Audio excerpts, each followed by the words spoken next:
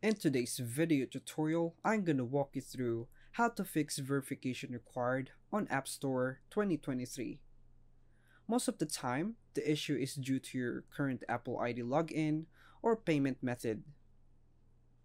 So first and foremost, open your settings app and touch on your Apple ID name. Next, choose your payment and shipping options. It may take a few seconds to load or require a thumbprint or password to gain access to your Apple ID payment information. And from here, you may update your existing payment settings or erase your payment information.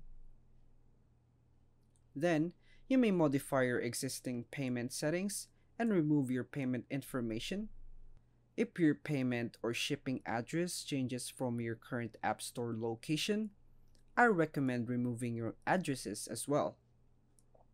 In certain circumstances, you won't be able to remove your payment option since some goods with a balance to pay or an ongoing subscription will prevent you from doing so.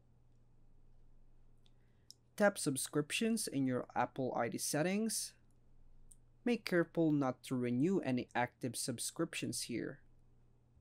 Once the payment option has been modified or deleted, you can return to this setup.